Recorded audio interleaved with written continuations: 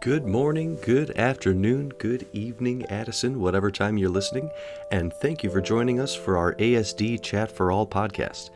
We have lots of fun and exciting things on the horizon for Addison School District 4, and this podcast allows us the opportunity to connect with our parents and guardians, families, and community to celebrate our students, their accomplishments, and so much more. Your hosts for this podcast are ASD4 Superintendent Dr. Nick Sutton and myself, Dean Konstantopoulos. You interested in hearing more about what's going on in District 4? Come on in and have a chat.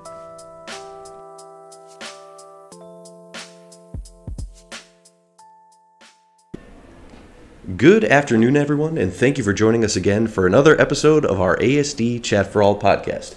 My name is Dean Konstantopoulos. I'll be one of your hosts this afternoon, and I'm joined with my co-host, Dr. Nick Sutton. Nick, this is our first podcast in the new Innovation Center. Now you just totally stole what I was going to talk Oh, sorry about. Come on, but What- it's what it's, about today? it's exciting because we're down here in the newly renovated Library Innovation Center. Mm-hmm. Um, and it's cool because I am looking out at a window at a bunch of perplexed, Mm-hmm. smiling, That's right. curious, curious kids, and even some kids that are more interested in their lunch than what is happening maybe 15 feet away from them. But it's fun. That's true. And you know what? I feel like the more that we do this, the more interest we'll gather, and it's going to be a good time. I agree. I agree. So speaking of interesting, what do we got going on today? Well, today we have two very special guests with us. We have Kate Figura and Dr. Katie Purse here with us to talk a little bit about our Innovation Center Vision team. So, welcome to you both. Thanks for joining us.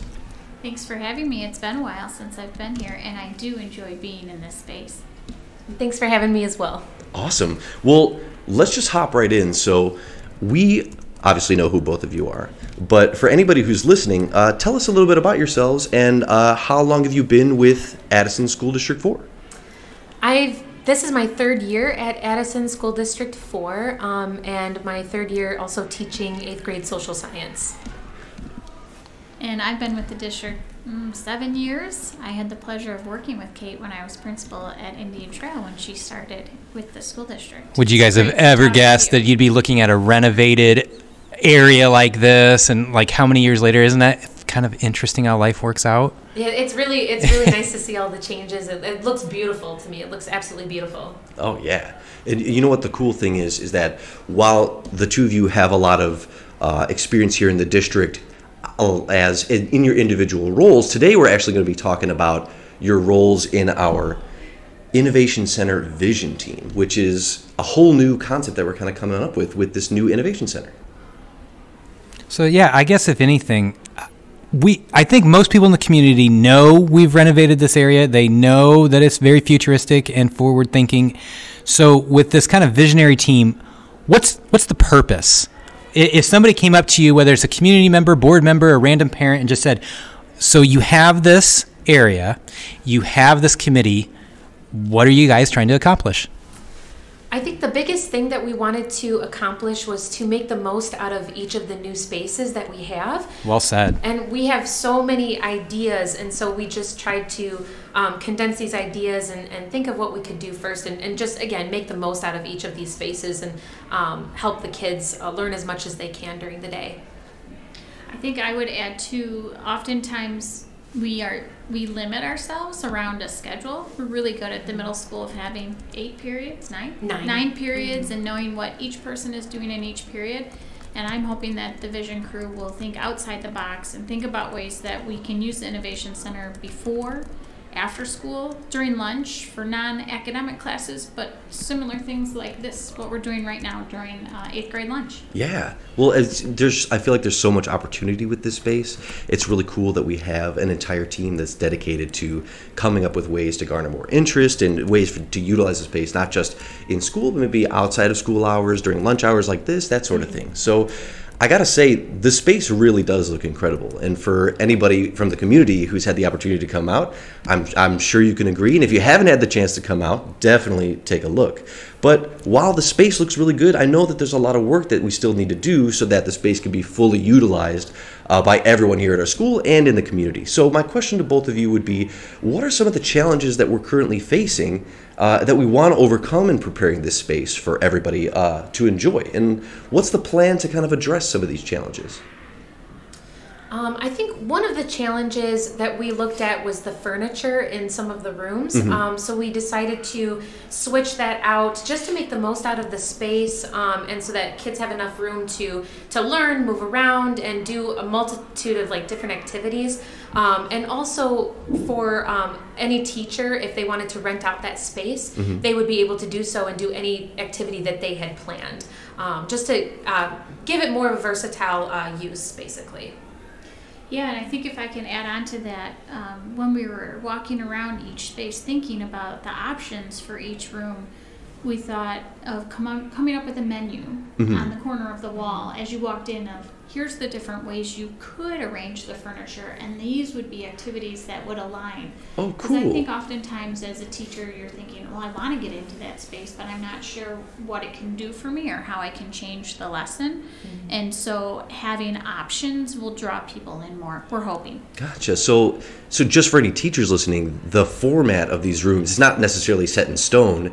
It's definitely malleable to however they want to use it. Exactly. They would be able to do any lesson that they had planned. They wouldn't have to change it according to how the room is set up. They just can just go in and, and do whatever they had planned and they know what's best for their students.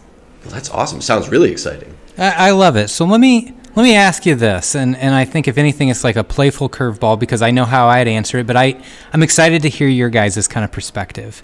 If there's a listener out there in the community that's kind of like, wow, you know, I I remember what my classroom was like when I grew up and, and I turned out okay. Like, why is this exciting? Why is this innovative? Why is this necessary?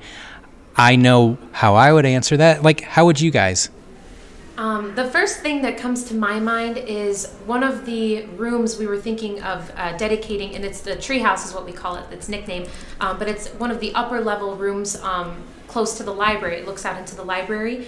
And we were thinking of doing cross curricular planning in that room. So, having cross curricular um, lessons so two teachers can use it at the same time um, and combine their classes. And um, it just opens the door to a lot more activities and lessons um, that they might not have been able to do before. So, it um, increases student engagement um, and it also increases their learning over time. And also just increases teacher collaboration, which we would love to do here as well. Yeah.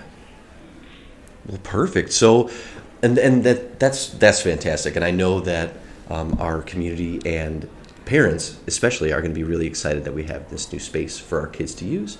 So, if they have questions, they want to know more about this space. They want to maybe take a tour. They want to see, think about some. Pl- uh, they want to hear about some more plans going forward. What is the best way that they could reach out to this innovation center vision team? Through email, they can always meet with us anytime. I think before, or after school, or during a planning period. I know I'm always available, so um, but they can they can uh, contact us any way that's easiest for them and just ask what we're thinking. Um, we'd be happy to share.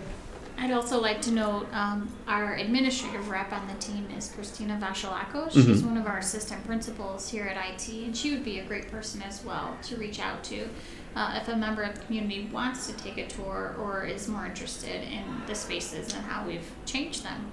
Awesome. And so, Dr. Sutton, same question to you. Somebody wanted to talk about this area. Kind of looks like a fishbowl. I'm leaning towards that name personally, but but, but we haven't come too, up with a name specifically yet. Hey, whatever sticks sticks. But, but I, I think reach out. Yeah, I, and I think more than anything, yeah, it's it's our new learning center. It's mm-hmm. our new innovation center. So anybody out there that's listening, you have as much ownership this as, as anybody, and we want to show it off. Um, school email is always an easy way to find me, but like Dean, I'm always lurking around on Twitter mm-hmm. at Dr. Nick Sutton. Dean, same question to you. And same answer on Twitter at AddisonSD4. Well, thank you both uh, for coming in, both Katie's. Thank you so much for, for coming in and joining us. And we really appreciate your time and and for and I know that this is going to be a really exciting uh, venture for all of our community and our kids. So thank you very much. I can't wait until we sit here again in six months to a year and have updates. Yes. Yeah, I'm, I'm really excited, and it's nice to have teacher input as well, and they get to also um, add in their ideas, which is exciting.